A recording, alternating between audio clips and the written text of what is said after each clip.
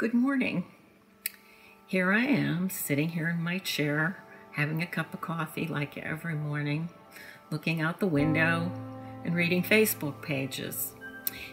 And one morning, I was reading the pages, I was reading the comments, and I noticed how angry and nasty people were.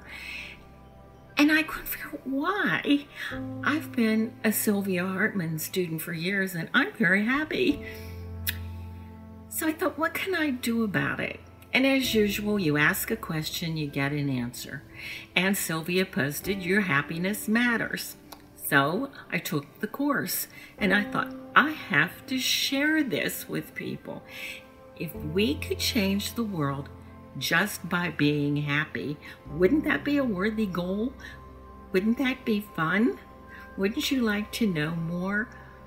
Well, come to my program on Friday and let's have some fun. Let's change the world.